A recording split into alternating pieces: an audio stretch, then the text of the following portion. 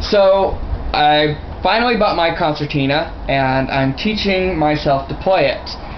And I'm using the tutor for the Rochelle, that's what it says on it.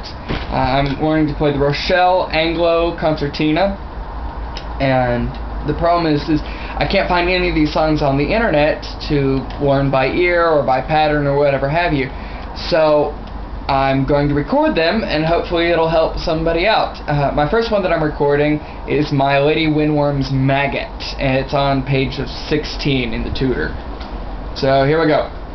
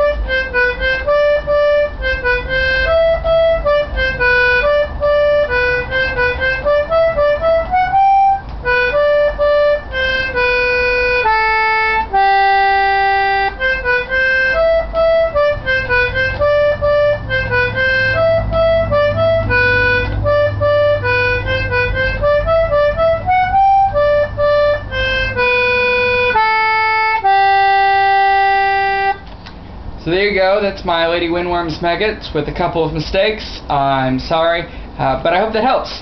Alright, thanks.